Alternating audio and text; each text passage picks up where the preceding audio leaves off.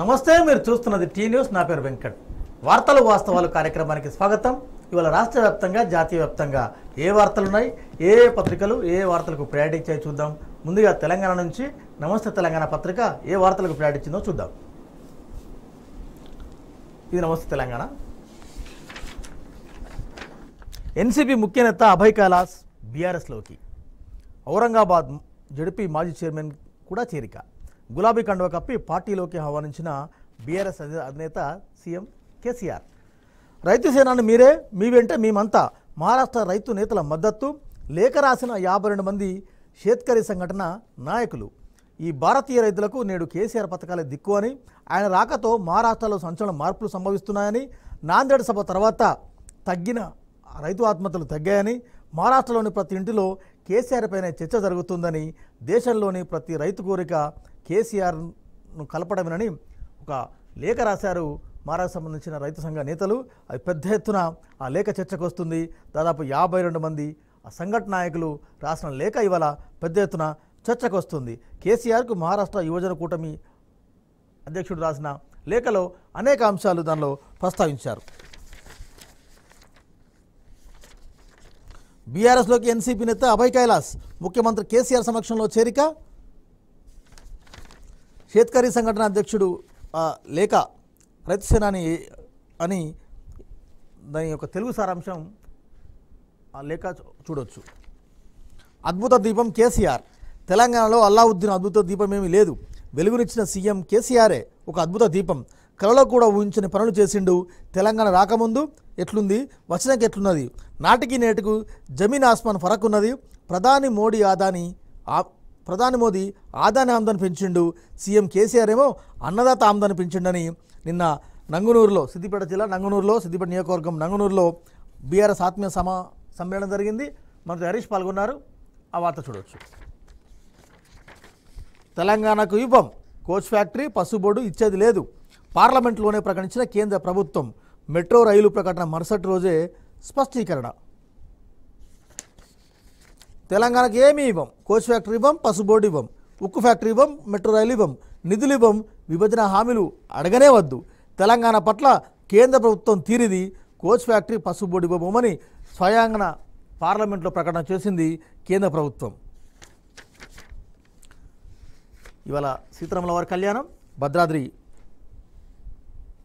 సర్వాంగ సుందరంగా ముస్తాబైంది పదిన్నర గంటలకి రాములూరి కళ్యాణం ప్రారంభం కాబోతుంది.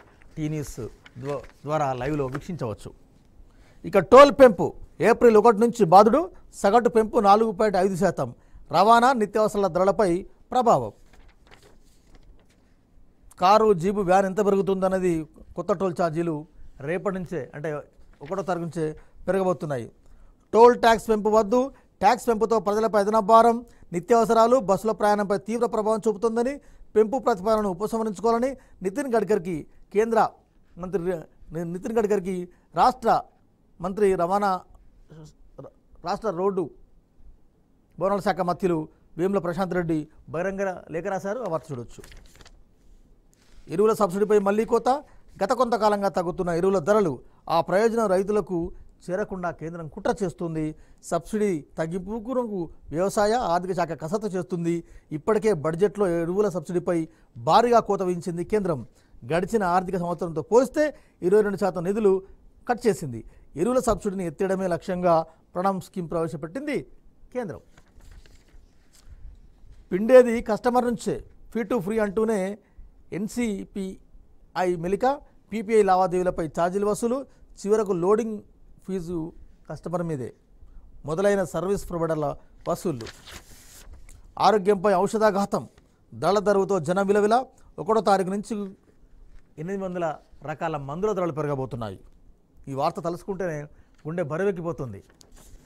మార్ఫింగ్ చేస్తే కేసులే. టోలర్స్పై పోలీసుల ఉక్కుపాదం. ఇరవై కేసులు ఎనిమిది మందికి నోటీసులు. ప్రముఖులు ప్రజాప్రతినిధులే వీరి టార్గెట్. నిందితులు తెలుగు రాష్ట్రాలకు చెందినవారే. మహిళల పట్ల మహిళల ప్రతిష్టను దెబ్బతీసేలా పోస్టులు పెడుతున్నారు. వారి పట్ల పోలీస్ శాఖ అప్రమత్తంగా ఉంది. కేంద్రానిది బీసీ వ్యతిరేక వైఖరి.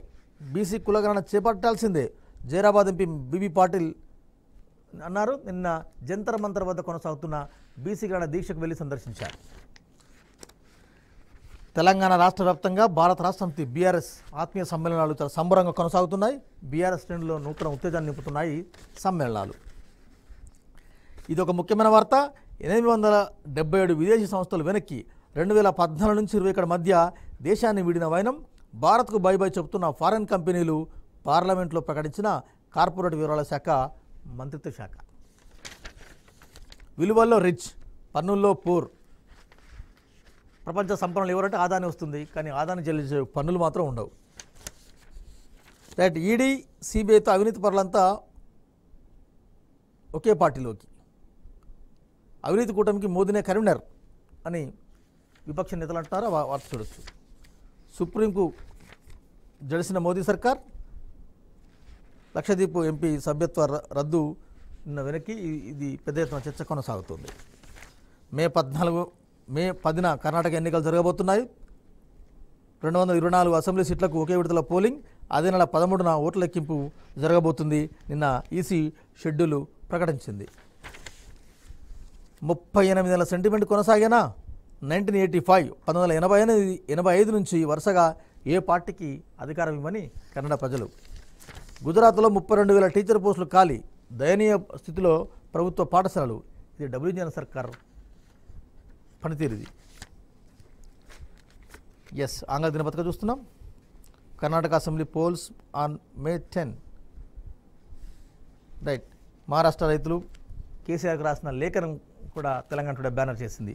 ఇది ఒక తెలుగు ఒక ఆంగ్ల దినపత్రికలో ఉన్న ముఖ్యమైన వార్తలు. నెక్స్ట్ వార్తల వాస్తవాల కార్యక్రమంలో చర్చ కొనసాగుకోబోతుంది చర్చ కొనసాగించే ముందు ఒక చిన్న బ్రేక్ తీసుకుని వెంటనే వస్తాను. Take a break.